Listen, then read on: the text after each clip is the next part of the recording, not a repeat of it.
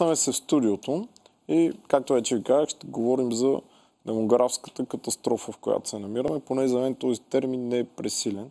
Ще чуем а, дали моят гост го споделя, но за да се настроите за тази тема, вижте, през миналата седмица се проведе така една кръгла маса, посветена на демографския проблем в България. Тревожна е статистиката, отреждаща на страната ни едно от водещите места в Европа по намаляване броя на населението. Защо се претопяваме, кои са основните фактори за това и какви мерки трябва да предприеме България за предотвратяване на тежката демографска ситуация. Това бяха сред въпросите, обсъдени на откритата от вице-премиера по економическата и демографската политика Валери Симеонов кръгла маса на тема демографските тенденции и процеси в България. Поемам отговорността от името на правителството на Република България да се вслушаме и да направим всичко, което е по силите ни в най-кратки срокове да реализираме тези препоръки и тези решения, които ще бъдат взети по най-отговорен начин. На проведената в Софийския университет Свети Климент Охридски дискусия присъстваха както представители на академичната общност, така и на изпълнителната и законодателната власт. Ние трябва да използваме потенциала, който имаме, а той никак не е малък. Защото е изключително важно да спрем да бъдем донор на млади и професионално подготвени хора, които да напускат България, а по този начин да обезкървяваме българската нация. Проблемът е много сериозен, защото безработицата се обявява, че в България намалява, така е, но забележете младежката безработица и оттам пътят на нашите млади хора към терминал 2 е ясен. Младежката безработица обаче се увеличава. Трябва да направим така, защото да създадем условия двете общности, които са извън границите на България, и историческите, и новите мигрантски общности, да имат възможност да комуникират добре с българската държава, да ползват всичките условия, които българската държава предоставя на тях и заедно с българите от България да работят за просперитета на българската нация.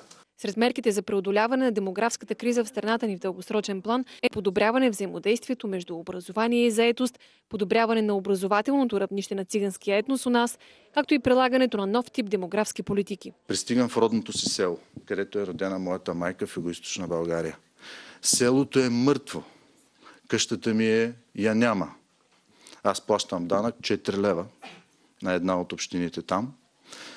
Но излизайки извън селото, няма нито един квадратен сантиметър непосят и необработен. Което означава, че теорията, че ако върна ресурса и произвеждам, това непременно ще възроди населеното място, абсолютно струшена. Ние трябва на всяка цена, ако искаме да преодолеем демографския си проблем, да задържим това младо население, което в момента имаме у нас, да остане у нас. Това може да стане по един единствен начин образование и реализация. Прогнозата на образователното равнище, според базовия сценарий, според който са заложени сегашните тенденции в образователното равнище, делът на ромите с висше образование ще формира едва 2% от ромите на възраст над 15 години и 13% с средно образование. За осъществяване на демографското възраждане е нужно осигуряването на човешки капитал, който би могъл да бъде привлечен от огромната българска диаспора в чужбина.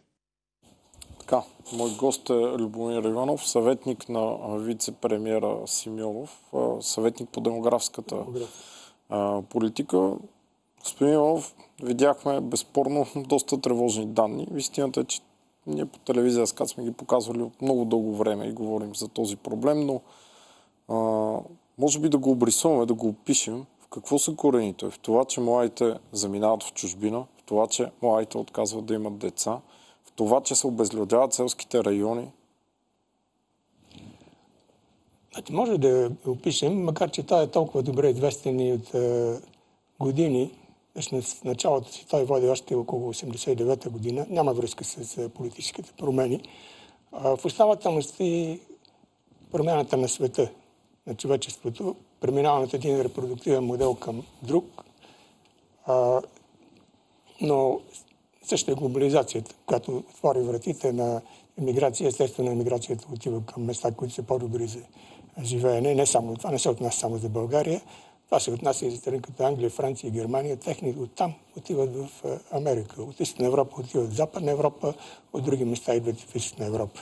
Въпросът е, че в цялата тази ситуация някои страни се оправят по-добре, благодарение на политиките, които водят, а някои са засегнати особено силно, т.е. оправят се по-зле, какъвто е случаят на България.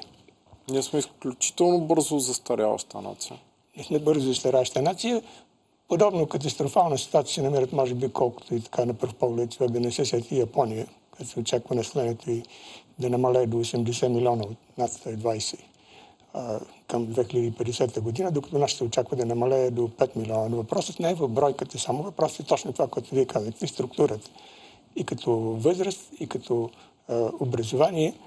И фактически това застаряване ще изправи нашата пенсионна система и здравеопазването пред а, невъзможност, тъй като все по-малко по-малко хора ще допринасят за тези системи, а повече хора ще искат да ги а, ползват. Имаше един доклад на Световната банка, който проследяваше, беше публикуван 2012 или 2013 година, ако не се лъжи, проследяваше в перспектива 10 години.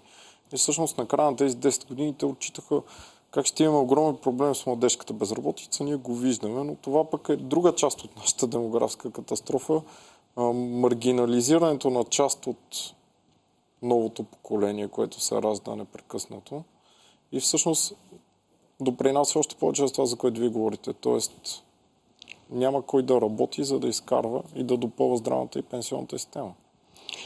А, много хубава беше тази кръгла маса, организирана от госпожа Султанка Петрова, заместник на труда и социалната да. политика, да, заместник министър и а, Софийска университет. Нашата научна опност а, дава принос към изясняването на проблема, описанието му, но а, това, което в момента е необходимо, е решение.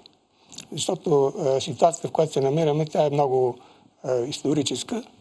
Вече проблема стана ясен по начин, по който по-рано не беше, а именно, че е, за първи път от тази година, и вече сега всеки ден го повтарят представителите на е, работодателските организации, че е, липсва работна ръка. Тоест, появява се една едно препятствие към економическото развитие на България, в резултат на което страната вече няма капацитет да поема инвестиции. Инвеститорите не могат да дойдат, включително и българските, да не говорим за чуждите, тъй като няма работна ръка. Иначе казват, ние имаме инвестициите, имаме парите, имаме технологиите, имаме пазарите, но няма работната ръка. При това положение е необходимо да се търсят решения. Не на широк фронт, а фокусирани решения с ясни перспективи за резултат. И винаги човек в такива случаи се оглежда и сигурно и други имат подобни проблеми, кой как се справя. И има страни, които се справят успешно. А, малко странно, аз бих казал на първо най-впечатляващ опита на Русия през последните 10 години. Това, което те постигнаха е а, значи, достойно за а, изучаване и съобразно на нашите особености, ако може да приложим нещо. Има и опит от много други страни. Но ние гледаме по-скоро тези, които имат подобни на нас проблеми, като подобен преход, съпътстван с подобни економически проблеми, след това с масова емиграция. Така че от тази гледна точка, въпреки разликата мащабите, опита на Русия е подобен, както и на други европейски страни, като например Унгария. А Русия всъщност в две направления и там върви проблема. Единият, разбира се, намаляващото население, втория е обезлюдяването на районите, нещо, което го имаме и тук в България. Да, само че там вече няма а, намаляване на население. И не само, че благодарение на иммиграцията, те прибраха милиони руснаци от бившите съветски републики, а вече иммигрират в и, и граждани, главно от Централна Азия, от Киргистан, Таджикистан, Узбекистан но те нямат вече отрицателен естествен приръст. При тях ръждаемостта се увеличи за тези 10 години в резултат от мерките, които те приеха. И а, вече ръждаемостта е малко над смъртността. Не е голям приръст, но, но това е много важно психологически, да се знае. Те знаят, че руснаците, ние руснаците не намаляват. Това, което ние е необходимо да постигнем, също в един средносрочен план, по-малко от 10 години, а, Обикновено се говори, че демографията нещо става бавно, което иска десетилетия за 20-50 години. По-малко от 10 години са достатъчни, за да постигнем това, което постигна Русия, т.е. у нас да няма българите да, да не намаляват като бройка. А отделно вече за по-сериозен приръст на населението може да мислим за една модерна иммиграционна политика, където също има много добри образци в европейски опит. Има канадски Включително опит. и нашите съседи Гърция, всъщност. Нашите съсед Гърция, да. Те прибраха гърците от бившия Съветски съюз, няколко хиляди. А, асимилираха, така, натурализираха и дадоха границата на 800 хиляди албанци. Стотина хиляди българи живеят там. А, така че те имат доста добро демографско попълнение и а, ако на времето сме имали изходно население, нашата намаля и сега е около 7 милиона, тяхното се увеличи и сега е 11 милиона. Тоест, те са в много по-добро положение, отколкото сме ние. Добре, какви са мерките? Реално да, да, да говорим вече. Примера с, така и с Русия и с Гърция няма начин да не навее на търсене на контакт с бесарабските българи и възможността те отново да се върнат по а, нашите родни земи. Аз трябва да мислим за няколко основни направления. Само едно от тях а, няма да даде добър резултат. А, е първото направление, което смятам, че тази нова политика, необходима е промяна демографската политика. До сегашната политика, до сегашните мерки, които се имат отношение към демографията, дали са в социалната област, дали са в здравеопазването или други области, те са добри, хубави сами по себе си важни, но никой от тях не, няма да доведе до промяна. Значи, до сегашните мерки ние ще имаме до сегашния резултат. Той никак не е добър и води към нещо още по-лошо. Тоест, сега е момента това да залегне в управленската програма на правителството, която сега се а, разработва и а, демографската политика да стане един основен негов а, приоритет. Защото вече стана ясно, че това е демографското състояние на нацията е незаобиколен фактор за економическото и социално развитие. Тоест, без успех в тази област, всички начинания на правителството в другите области са обречени на а, частичен успех. Но не ни ли отне прекалено дълго време да го осъзнаем това? Аз имам чувство, че ами- преди ами... 10 години, ако погледнете, някакси не се приемаха този разговор, който ние сега водим с вас, не се приемаше сериозно. Ами аз не знам дали сега осъзнато, мисълта е осъзнато като проблем, но той проблем може да се гледа, да се наблюдава с безнадежно да се каже, ами то нищо не може да се направи, няма как да стане. А, а може да се гледа като това, което смятам, че е необходимо в момента, като съвсем прагматическа настройка за търсене на решения, които са и общо взето, аз смятам, известни, просто да бъдат конкретизирани в случая на сегашния, сегашното правителство, в случая на бюджета за следващата година, който сега се, се подготвя, и в случая на управленската програма. Значи трябва да има като приоритети в областта на демографската политика три направления. Първото е съществено повишаване на ръждаемостта, така че в обозримо бъдеще, за което говорих от порядъка на 10 на години, вече да имаме положителен естествен приръст. На второ място, мерки за намаляване на младежката емиграция. Това е изключително а, лошо явление за нас. Това са огромни средства, като оставим на страна, че това са човешки капитал и то от най-ценните хора, които вместо да се реализират в България, да развиват тези, които са способни бизнес, в наука, своите умения и да бъдат полезни за себе си и за нацията, те правят това в чужбина. Тоест, те са полезни за друга нация, а в тях България инвестира в отглеждането им, в обучението им. Това, ако направите една сметка, ще се окаже, че последните 30 на години по този начин ние, както каза госпожа Петрова, сме спонсорирали най-богатите страни с няколко десетки милиарда евро. Това са повече от всички пари, които ние сме получили като помощи по всякакви линии.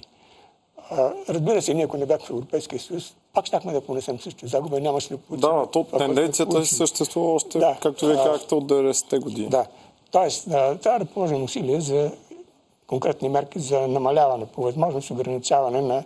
Ние не можем напълно да спрем тази тенденция. Както ви казах, и от Западна Европа емигрират там, където още по добри възможности има. От Франция емигрират в Англия. Има 600 хиляди французи, които живеят в Англия. Сигурно не заради климата и не заради храната, но просто млади хора, които там смятат, че в Англия условията за реализация са по-добри. Тоест, ние трябва да първо да задържим възможност младите хора, които дори да учат на Запад, да се върнат след това да работят в България, да се реализират тук. И а, отделно вече това е към третото направление, а то е една модерна иммиграционна политика, съобразена с потребностите на а, България.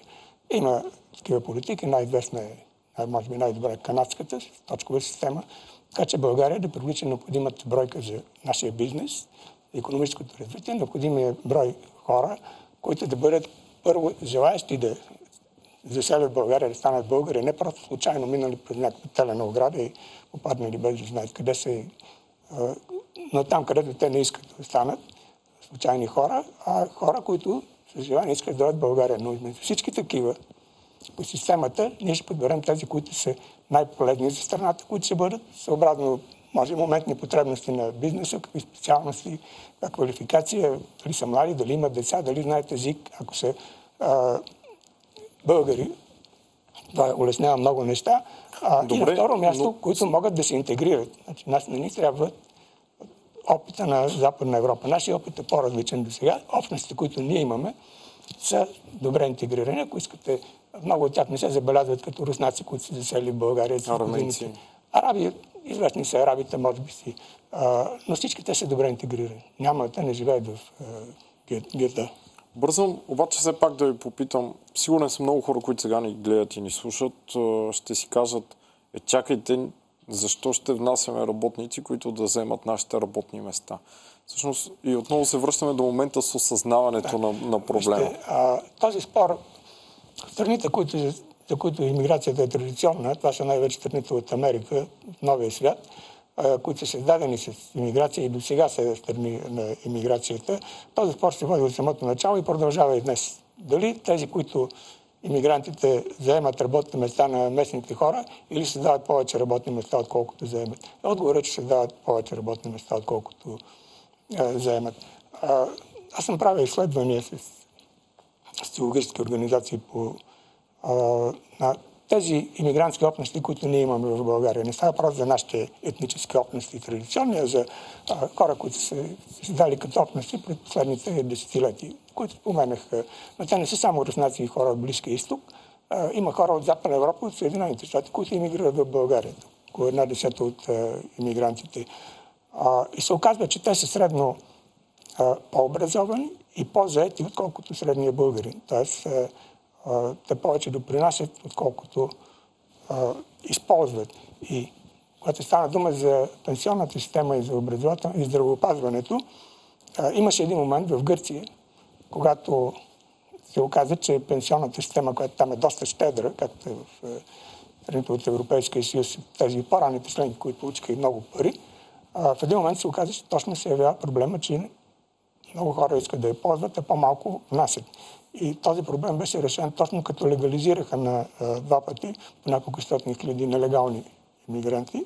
И това са иммигранти са по-млади хора, те по-малко вероятно е да ползват здравеопазване, но ако са легално пребиващи и а, работят законно, те плащат всички осигурителни вноски, пенсионни и здравни. Така че а, естествено, че ползата е по-голяма. Разбира се, ползата не, не е еднаква за всички. Винаги ще има хора, които не са а, облагоприятелствани. Например, а, колкото и да има инвестиции в България и да се търси работна ръка, ако има хора, които са толкова неквалифицирани, неспособни за труд и така, поради, поради обстоятелства на тяхното жизнено развитие, че за тях пак няма да има работа.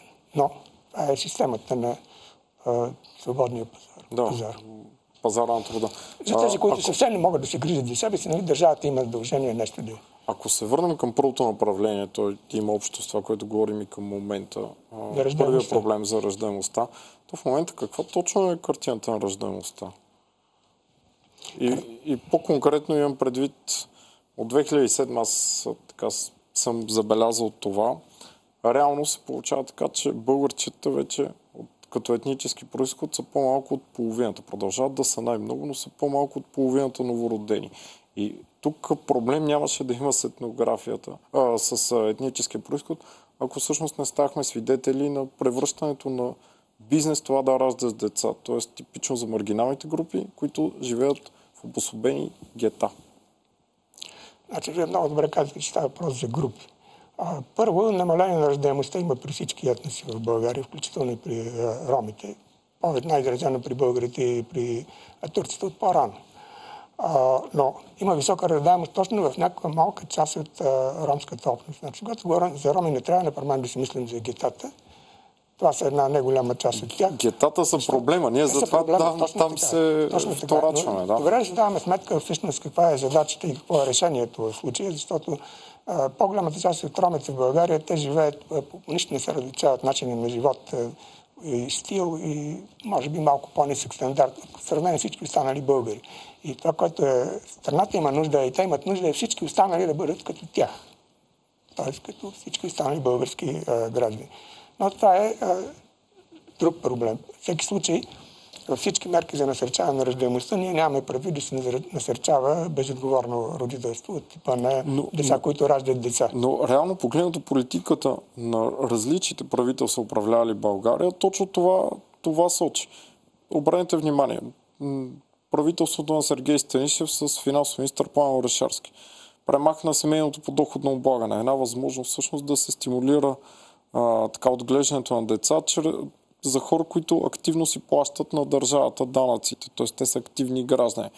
След това постепенно беше превърнато, а, разбира се, абсолютно сигурен съм, че не е целенасочено, но от някак си криворазбрана социална политика, самотните многодетни майки да получават много повече, отколкото получават всички останали. Тоест, някакси държавата, волно или неволно, тласна този процес в тази посока.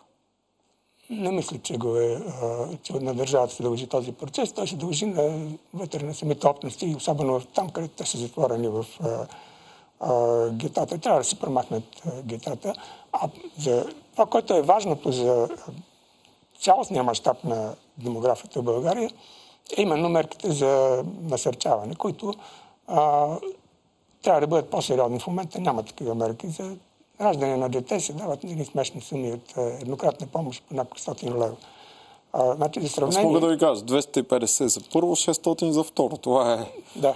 А, и по-малко за 300 за трето. Да, точно така. А, но от миналата година в Унгария дават за трето дете 32 000 евро и за последващи деца също по 32 000 евро. Това е подарък от унгарското правителство. И след това ми правят предложение, ако желаят, им отпускат още един нисколихвен заем от 32 000 евро за жилище, ако искат. Добре, тридетния модел ли е? Промила, който е необходим, за да имаме положителен приръст е 2,3, т.е. 2,3 деца на двама а, значи, в момента имаме, ако мерим, те се мерят различността по един по различен начин. Един е който вие казвате, другия е по колко деца се правят на една жена. Но ако гледаме общо статистиката за раждаемост, колко деца се раждат на хиляда жители, а, у нас този показател е 9, 9,1 на хиляда. А раждаемостта е 14,5 мисля, на хиляда. Тоест, виждате една разлика от 5 промила, като е много голяма разлика. В Унгария раждаемостта е малко по-висока, подобна на нашата. В Русия е била такава преди към началото на, век, на този век. Откакто започват да прилагат техните насърчения, те са 11 000 евро на дете, но на всяко дете от второ нататък, второ, трето, четвърто нататък, а, 11 000 евро. При тях раждаемостта в момента е, е над 13 на 1000 и е малко изпреварила смъртността. Тоест, има, виждате каква разлика има. Между другото има много интересен български опит, който не е много популярен. Това е опита на община Несебър, която също някъде от преди 10 години дава за всяко новородено дете, независимо кое поред, 2000 лева. И разбира се, тази община не е представителна за България и като възрастови структури, и като възможности за развитие. И, има такива но... добри практики. И, и община Русе всъщност започна да стимулира. Ето от община Елимпелин, знам защото живеят там, те даже пък стимулират от тези родители, които имат висше образование, дават още повече Тоест а, има, има такива практики на местно ниво, но, но това сякаш са общини, в които а, економиката се развива изключително добре и те се опитват да се подсигурят с перспективни хора, които да могат да я развият Ами, тази економика. заедно. Значи, идеята, че економиката, като се оправи, ще се оправи демографията, е погрешна, не може да се оправи Не, не, аз точно без- друго имах предвид, че тоест, това са общини, в които наистина економиката така процъфтява и те имат нужда от работна ръка и това е причината да създават едни добри условия, за да се развива човек. Ами всички имат нужда от работна ръка, след като има работна ръка, там ще отиде и бизнес. Ако няма работна ръка, той не може да отиде. А, така че в резултат на всичко това, в община Несебър, а, раждаемостта е някъде около а, 13 на 1000, колкото в тази, която ни е необходима. А, и те имат малко приръст, естествен приръст и отделно там се заселват хора, т.е. те имат и механичен приръст добавят към това. А, мисля, че това е което трябва да стремим. Сега, когато сравняваме парите в Унгария, в Русия и в България, а, трябва да направим една адаптация, като четем различния а, брутен продукт на глава от населението. Унгария е няколко пъти по-скъп, по-богата от нас. Русия е горе-долу на същото ниво, може би 10% повече. Но като направим сметките и ги подравним на една и съща основа, ако ние бяхме толкова щедри, да колкото са и даваме от бюджета, от разходите на бюджета, разходната част на бюджета, същия процент за такава насърчаване, примерно на трето дете, както Унгария, ние трябваше да даваме, ако следвахме унгарската пропорция, трябваше да даваме 17 600 лева. Ако следвахме руската, трябваше да даваме 29 000 лева. Тоест, те са доста по-щедри. Това, което мислим в а, мерките, които разработваме в екипа на а, вице-премьера Симеонов, а, например, бихме могли да мислим за едно насърчаване от следния вид. А, започваме от второ дете нататък. Насърчаването на първото дете да може да е много хубаво, но то няма да увеличи раждаемостта. Да, безспорно. От второ дете 3000 лева за раждане или усъновяване на второ дете, 10 000 лева за раждане или усъновяване на трето дете и по 1000 лева за следващо дете, като тук има тази оговорка точно за да се избегне стимулирането на децата раждат деца, дава се на, да речем условно, отговорни родители, които първо са изпълнили конституционното си задължение да имат средно образование и на възраст да бъдат примерно поне 21 а, години. Смятаме, че това е една сериозна мерка, която би могла да даде резултат в рамките на 5-10 години. Да Има определен увеличаване, определено увеличаване на раждаемостта. Добре, а търсят ли се варианти в а, така, далеч бих казал а, по-практични подходи от гледна точка на майчинството? Ето аз мога да ви дам един пример. Така, с доста майки съм говорил, а, които са работещи майки, но за тях проблем е втората година майчинство, която, знаете, те получават 340 лева, т.е. Нали, те получават много по-малко от минималната работна заплата. И не, че да ги стимулираме една година втора, в случая да стоят в къщи, а те търсят помощ, т.е. те търсят по-високо майчинство до момента, в който детето им тръгне на, на детска градина, на ясла, защото крайна сметка в яслите вземат деца, които са след една година, но могат да ходят. Тоест, горе-долу от година до година и половина е изключителен проблем за семействата да си гледат детето, защото майката получава изключително ниско майчинство, същевременно не може да се върне на работа, защото не може да остави детето в яслата. И на практика, мисли ли се в посока, да кажем, втората година майчинство да бъде двойно по-голямо, но пък намалено за 6 месеца, т.е. не за цяла година, 6 месеца. Ето това би облегчило живота на моите семейства. Мислят се точно по тези въпроси. Между другото има една а, демограф, стратегия за демографско развитие. Вътре има, а, тя беше а, 60 страници, когато се прие първоначалния вариант, 12-та година, сега 15-та година актуализиране, сега е 150 страници. А, та има множество такива въпроси, включително този как да могат а, майките хем да а, отглеждат на самото начало бебетата и децата, да не загубят, да не стоят две години без работа и не са да пропуснат възможностите за развитие в кариерно развитие. А, има множество други мерки, които са много важни, примерно в областта на здравеопазването. Ние говорим за раждаемост, там се разглежда въпроса за смъртността, за удължаване на... а, Всъщност, ние освен, че имаме ниска раздавност, Да. вие го казахте, имаме и висока смъртност. Има и висока смъртност, нейното съответно намаляване. Има и висока и детска смъртност, между другото също. А, също намаляване на смъртността, но и, и използване, в смисъл хората, когато са възрастни, над пенсионна възраст, да бъдат добро здраве, така че да могат, когато им позволява здравето, имат желание да могат да работят. Това също е един ресурс за економическо развитие. Но а, това, което мисля, че е важно, е да се фокусираме върху няколко ключови неща, които ще променят а, картината, които ще променят тенденцията за намаляване на българското население и да обърнат тази тенденция. И затова се фокусираме точно само на тези няколко а, пункта. Първото е а, увеличаване на разделимостта, второто е намаляване на младежката емиграция и третото е модерна иммиграционна политика, като тук отделно може да разгледаме един такъв въпрос за а, цялостната политика, която е на точкова основа, по канадски модел би могла да бъде която най-добре да, от една страна да подбира хора за натурализация, които да станат българи, български граждани, които са най-полезни за, ще бъдат за България и второ, които са най-способни да се интегрират. Биха могли отдавна да помислим за този наш ресурс, който стана дума, отчасти българите в чужбина, и то не новите общности, а традиционните български общности. Като тук трябва да направим едно разграничение. Значи, по различен начин трябва да разгледаме българските общности в Македония, Република Македония или Западните покрайнини. Това са исторически български земи и там не е редно да търсим тяхното обезбългаряване. Тоест, те без това са станали малко, специално в Западните Украини, били са 120 хиляди на време, сега са 20 хиляди. Застаряло население, рядко населено. Ако те се изселят в България, те фактически няма да стане нищо българско. Тоест, всички българи от Македония и от Западните Украини, от Сърбия, от Албания, от Косово са добре дошли. Те за нас са плюс тяхното идване в България.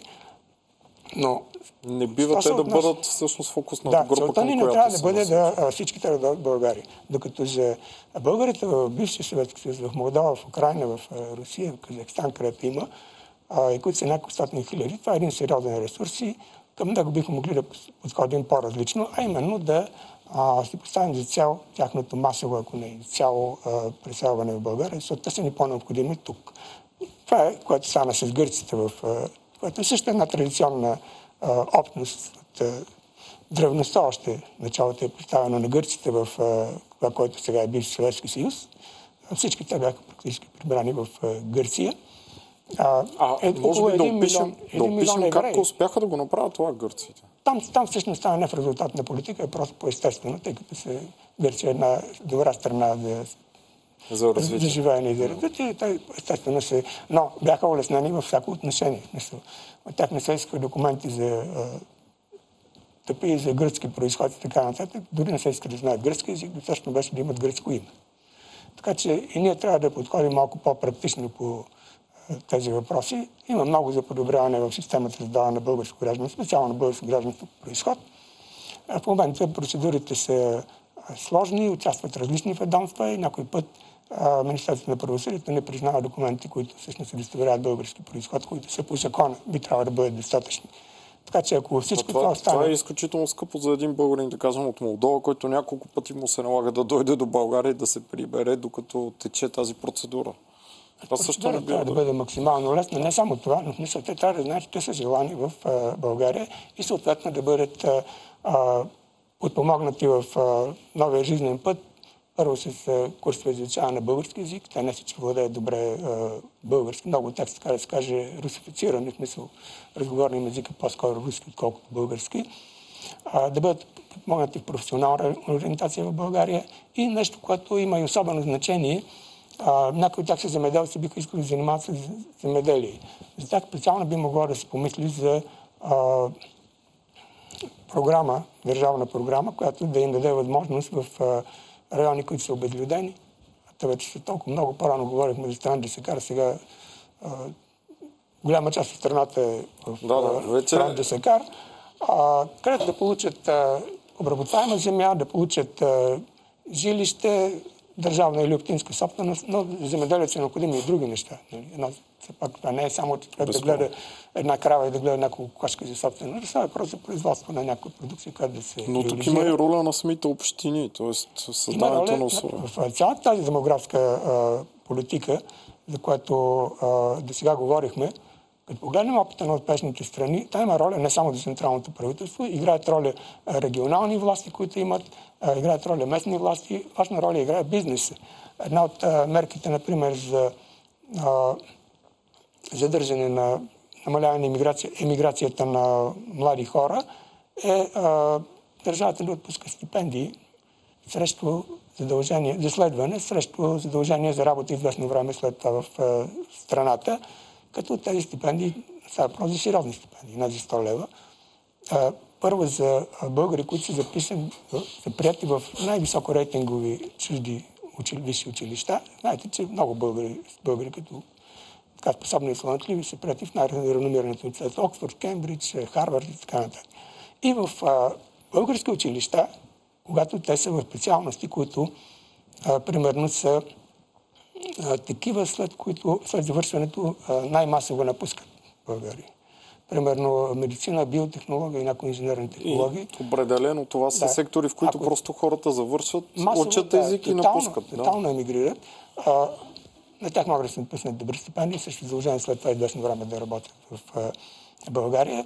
Нещо повече, а, могат да се отпускат а, стипендии на особено талантливи младежи, както българи, така и чужди граждани се съдейства на нашите посолства. Ние имаме интерес те да бъдат привличани в България. Изобщо се оказа, че висшето образование, университетите са един важен инструмент за а, така, изземване на таланти на талантливи млади хора в страната, която го прави. А това го правят всички страни, особено развитите. Западна Европа, Съединените щати, прави го и Русия. Огромен брой студенти от цял свят учат там. Някои от тях на собствени разноски, някои път с руски стипендии. Русия отпуска 300 стипендии за българи. Защо? Много. Ние сме в крайна сметка една не толкова важна държава. 300 стипендии за българи. А ние отпускаме 150 стипендии за е, българи от е, Република Македония специално. А биха могли да бъдат примерно 400. Но а, мисълта ми е, че това е един важен инструмент. На времето България също, макар и несъзнателно е тогава, ние да не сме имали нищо подобно на иммиграционна политика, тъй като емиграцията е смятана за нещо изключително на отделни личности. А, но имаше странни студенти, имаше чужди студенти в България, някои от които след това немалко се останаха тук, сениха се, работиха, станаха българи с добри позиции в обществото. Тоест, когато говорим, че в България има много университети и малко студенти, има когато държавата нашата дипломация също да се действат за това да един по-голям брой чужди студенти да учат в България, някои от тях на собствени разноски, някои с български стипендии и естествено те винаги след това ще бъдат от една страна лоби за български интереси, ако се върнат в техните страни или на други места в чужбина, или ако останат в България, да са едно добро попълнение за нашия демографски потенциал. Аз благодаря ви за този разговор. Ние само открехнахме вратата. Те първа има още много какво се изговори и да се коментира по темата. Разбира се, ще наблюдаваме и мерките, но а, сега се разделяме за кратко.